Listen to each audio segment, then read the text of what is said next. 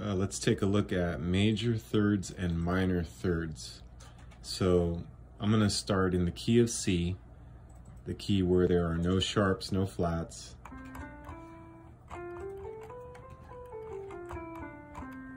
And I'm looking at the first three notes, C, D, and E. C, D, E. And the first three notes of the key of C major, um, from one note to the next, uh, you measure it in intervals. So from C to D is a whole step, and then from D to E is a whole step. So what you have here is a whole step and a whole step, a whole step from C to D and a whole step from D to E, okay? So that's important because when I play this interval of a third now from C to E, I know that it's made up of two whole steps. Now, let me go back and explain that the distance between any two notes that are exactly next to each other, adjacent to each other, is a half step. So C to C sharp or D flat is a half step. And then C sharp, D flat to D natural is another half step. So that's where you get this, uh, that's where it totals up to be a whole step. And then from D to E is made up of a half step and another half step. So when I start now on the note C and I go from C to D, I'm actually counting the notes numerically as C being one and D being two. So if I play those two notes together, that's considered a second. Another way to think of a, a second or a third, a fourth, a fifth is by letter name. So you can always say C to D is a second, C to E, one, two, three is a third.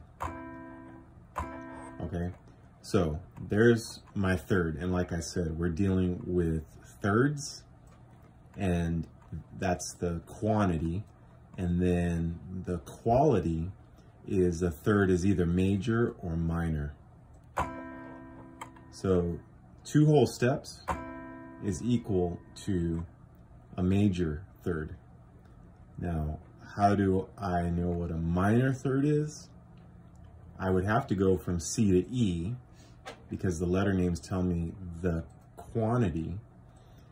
And then the quality would be that instead of playing an E natural, I go a half step down to an E flat.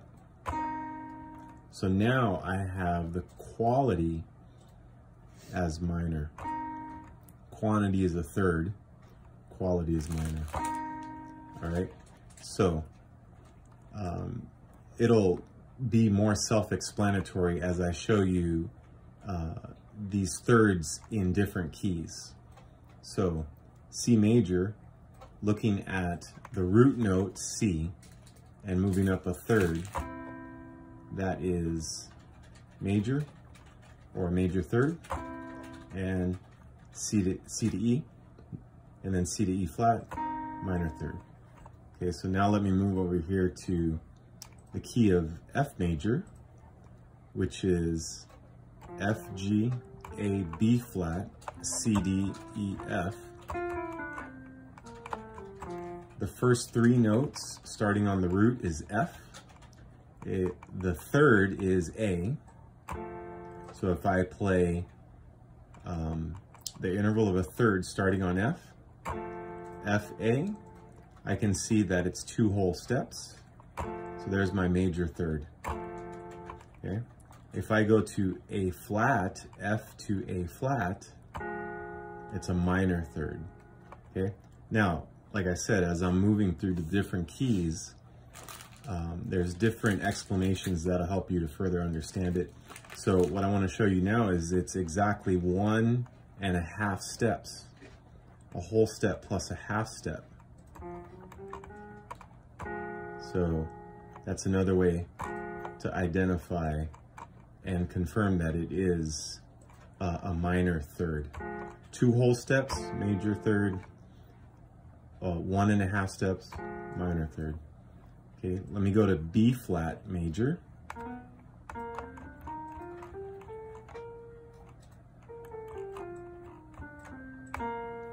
Okay, so B flat, okay, so now I'm gonna say, okay, let me, let me take a step away from the keyboard and just uh, think about the letter names.